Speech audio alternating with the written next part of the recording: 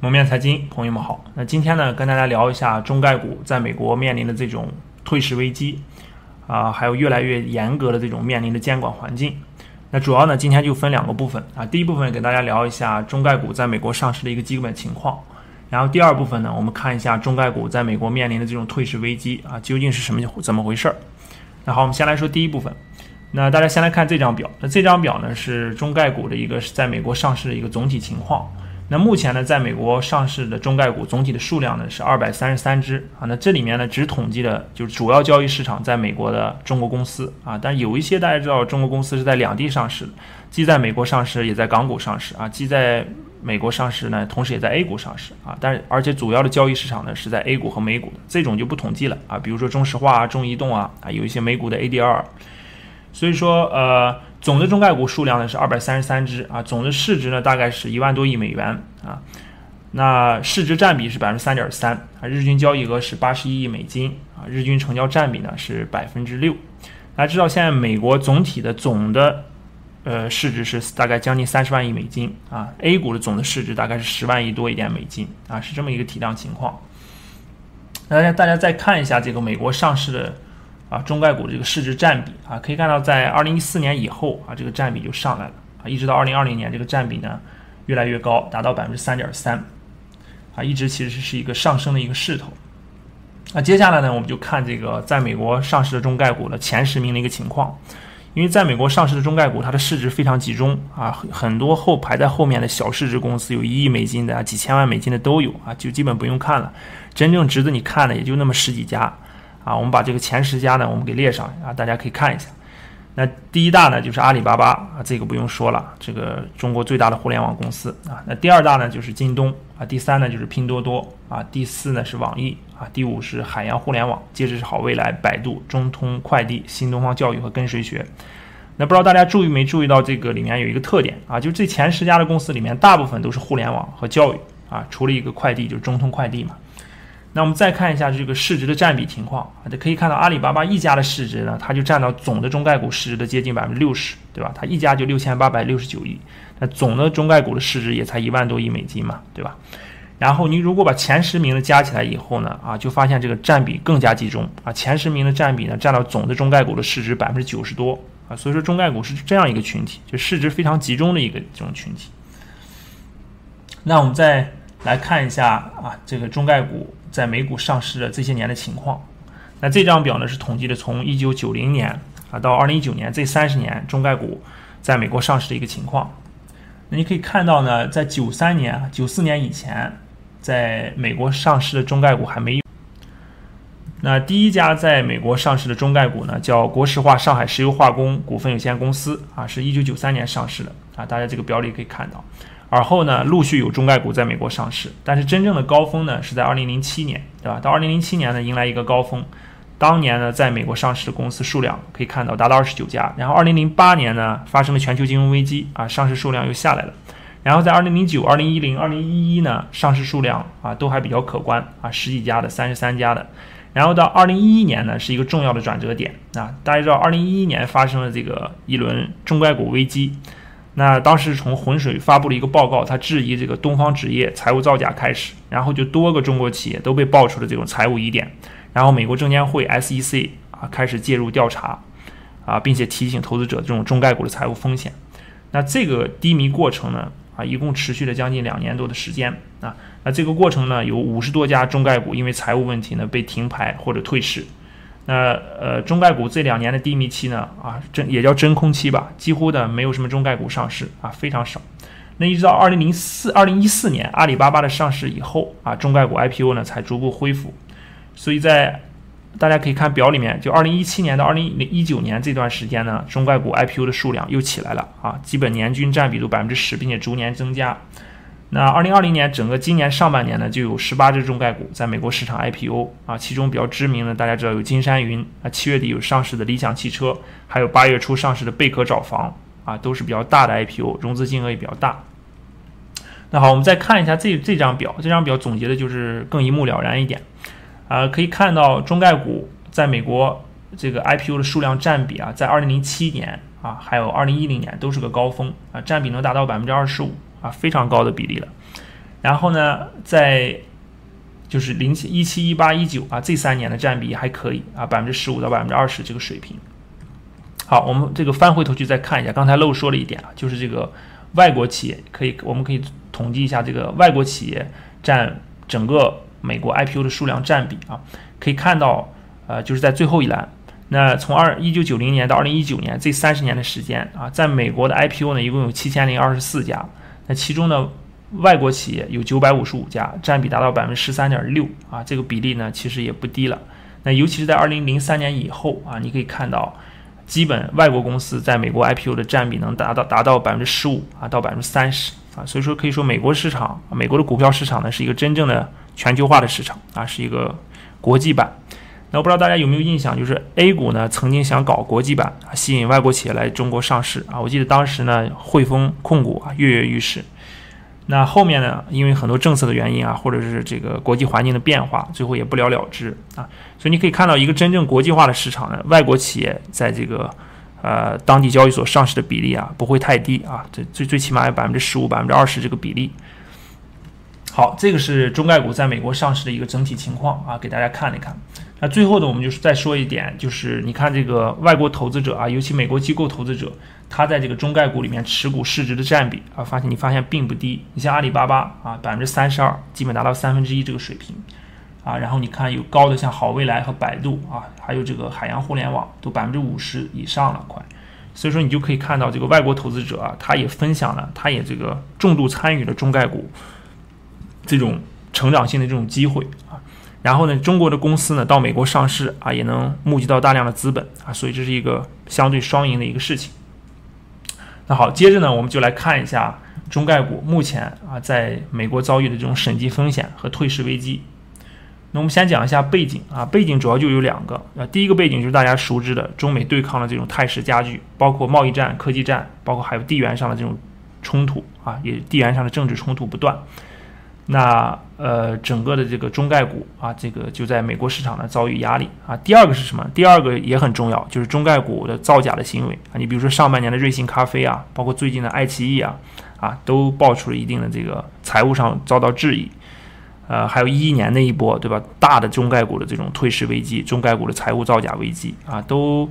这样加深了这个美国监管机构对中国呃这个公司的不信任。这是两个背景，是吧？那最近呃发生的就是爱奇艺的这个被质疑。爱奇艺呢有一个研究公司啊叫 Wolf Research 啊，他提出了对爱奇艺的这个财务上的一些质疑。那第一个质疑呢，他就是说他虚报了用户数啊，这个第二个说是虚增了收入啊，这个第三个说虚增成本，第四个说是将购买版权记为投资性现金支出啊，与虚增现经营性现金流啊，当然这些都是财务术语了，大家听一听就可以了。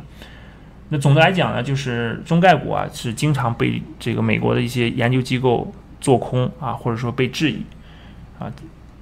那那呃，关键是最近啊，最近从今年以来，这个美国政府官方啊，它呃，它有一些行为啊，开始更加加剧了中概股在美国的种种的这种压力。那第一个呢，就是今年四月二十一号发生的，就美国证监会还有它有一个美国上市公司会计监管委员会，它发表了一个联合公告，提醒公众。就是提醒公众什么呢？包括中国在内的许多新兴市场的企业，他认为他们信息披露的不完整啊，可能会导致这个公众遭遇风险，而且他觉得这种风险呢比美国本土公司要高。那我把这个图呢也贴出来，大家有兴趣可以看一看。那第二个呢比较重磅的就是五月二十一号的时候，美国参议院他通过了一个叫让外国公司负责法案啊，大家可以看一下这个啊法案的主要内容，有兴趣的话。那这个它这个主要内容是说的，就是美国上市公司监会计监管委员会啊，它呢如果无法完全核查在美国上市的外国公司的审计报告啊，其实也就是没有办法去看他们的审计底稿啊，包括去现场检查啊，那就会把这一年度定义为非检查年。那如果一家上市公司连续三年被定义为非检查年呢，那美国证监会就可以禁止该公司的股票在交易所交易。那再严重一点呢，就给它退市掉了。呃，然后这个让外国公司负责法案呢，还有一些比较呃苛刻的要求。那这个要求呢，明显就是有针对中国了啊。它第一个呢是要求，还有要求外国政府在美国持在外呃就是外国政府在该公司的持股比例，还有外国政府呢是否控制呃该公司还有就是这个董事会里面呢有没有党员的，呃党党员的姓名啊？有没有？还有就是公司章程里面呢是不是包括包含党章等这些内容？所以说这些内容呢是明显啊针对中国企业的。这是第二件美国政府的行为啊，就是参议院刚通过了，现在众众议院还没有去审议这个法律啊。如果众议院通过以后，然后美国总统再签字的话，那就成为一个法案了。好，这是第二，第三个呢，就是八月六号，就是最近的啊，最近正好不是在封杀抖音嘛，就是封杀抖音的那一周呢，白宫白宫的工作小组啊出了一个报告。啊，这个报告呢就是说，在美上市的中国公司呢需要遵循美国会计审计准则。啊，如果不遵循呢，那就在二零二二年一月之前啊要求退市，所以这个应该是非常明确的一个美国政府非常明确的一个动作和信号了。啊总的来讲呢，美国政府的这一系列行为啊，就简单来说呢，就是美国监管机构它要求获得中概股的这些第一手的审计资料，并可以检查相关的会计师事务所啊，或者进行现场检查。啊。如果不遵循呢，那你就退市啊。简单来说就是这么一个规定。那为什么美国的监管机构没有办法核查就是在美上市的这些公司的审计底稿呢？啊，这是因为跟中国的法律有冲突。我给大家看三个法律啊，第一个法律呢，就看一下这个《中国证券法》啊，里面第一百一七十七条第二款，它是怎么说的呢？他说，境外证券监督管理机构不得在中华人民共和国境内直接进行调查、取证等活动，未经国务院证券监督管理机构和国务院有关部门同意，任何单位和个人不得擅自向境外提供与证券业务活动有关的文件和资料啊。你看到了吗？就如果你要是会计事务所啊，在中国境内会计事务所，然后你向境外直接提供这个相关的文件和资料的话，那你就直接违违反证券法了，对吧？所以说这个是不能随便提供的啊。那第二个是什么呢？第二就是有一个叫《中华人民共和国国家秘密法实施条例》啊，它这里面规定了有些信息呢属于涉密信息啊，属于敏感信息。那恰好中概股呢？在美国有很多都是国有控股企业啊，它分布在能源啊、交通啊、通讯啊、医药这些重要行业。那当然，相关的会计底稿呢，就属于涉密信息啊，就敏感信息嘛，所以就受这个法规的这个制约。那第三个是什么？第三个就是二零零九年，中国证监会、国家保密局还有国家档案局，它联合发布了一个关于加强在境外发行证券与上市相关保密和档案管理工作的规定啊，也挺长的，是吧？这个法规最讨厌了，特别长。然后他说，在境外发行证券与上市过程中，提供相关证券服务的证券公司、证券服务机构在境内形成的工作底稿等档案，应当存放在境内。你看到没有？他明确说，应当存放在境内。好了，那你这个会计师事务所，你还敢把这个这个资料提供给境外吗？啊，提供那不就违法了吗？啊，所以总结一下，就是因为这个美国的监管机构啊，尤其是美国的这个上市公司，就是那个。呃，上市公司会计委员会吧，就那个机构，啊，他没有办法获取这个工作底稿啊，获取工作难底稿的难度很大。那美国的证监会呢，难以有效的对中概股呢啊进行这种调查啊。那第二个呢，就是现实的障碍，就是什么天高皇帝远啊，因为中概股公司的管理层啊，还有这个会计事务所主要都在中国。那美国的司法机关、美国的律师呢，他没有办法在中国采取调查这些司法行动，或者就采取了这种司法行动。这个发的调查令和判决也无法在中国得到有效执行，啊，所以这个就是山高皇帝远，啊，实际上是真正追责呢难以做到，就是这个民事责任啊、刑事责任的真正追责。好，这个是给大家介绍了美国政府的这个，呃，最近今年上半年以来的一系列规定啊，一系列出出台的这个措施政策和法案啊，以及和中国的这个关于保密法啊，这个文件不得提供给海外啊，中国法律的一些冲突。好。最后一部分呢，我们就说一下，呃，这件这些法规啊，包括这些冲突呢，会给对美上市中概股的影响，以及未来的一种可能性。那当然了，第一个可能性就是很多中概股呢，啊，选择退而求其次，对吧？他为了规避这种风险，规避这种越来越强的这种监管压力，他就选择在港股上市啊，比如像阿里巴巴啊、京东啊、网易啊，对吧？他给自己一个退路，呃，变成两地上市的公司，既在美国上市，也在港股上市。那这样呢，它可以啊规避一些政策风险，嗯，那第二种第二个办法是什么呢？第二个办法就是私有化退市啊，干脆就寻寻求私有化，主动呢这个退市，规避政策风险啊，否则的话，美国证监会可能会罚你款啊，或者面临集体诉讼啊，啊种种的种种，那干脆就私有化退市得了。那啊对，有些还私有化退市以后，它可以回到 A 股再上市嘛，啊 A 股的这个国内中国 A 股的估值非常高啊，前几年有很多的这个美国。的中概股私有化以后回到 A 股上市啊，获得非常大的一个呃估值的提升啊，融资金额也扩大了很多倍啊，所以这也是一条路。那第三条路是什么呢？啊，第三条就是比较好的一种情况，就是中美监管机构呢啊达成这种互信合作啊友好协商，然后呢允许美国监管机构去调查中国啊中概股的这种审计资料，然后双方呢加强沟通啊，把这个缓和下来啊，但是这个难度比较大啊，难度比较大，这个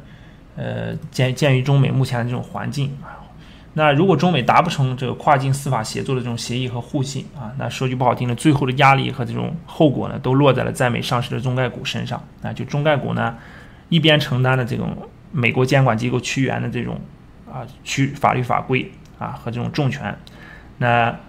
呃要求中概股和审计师提供审计机稿嘛啊，压力越来越大。另一边呢，又承受着中国法律关于资料不得随进呃不得随意的跨境提供给外国的这种。法律规定的冲突啊，最后其实两边的挤压啊，两边不讨好。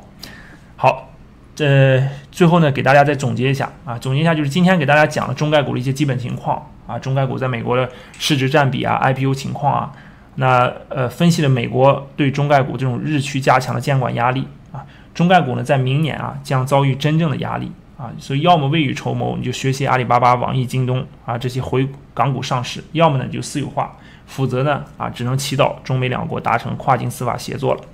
好，今天的分享就到这里，我们下期再见。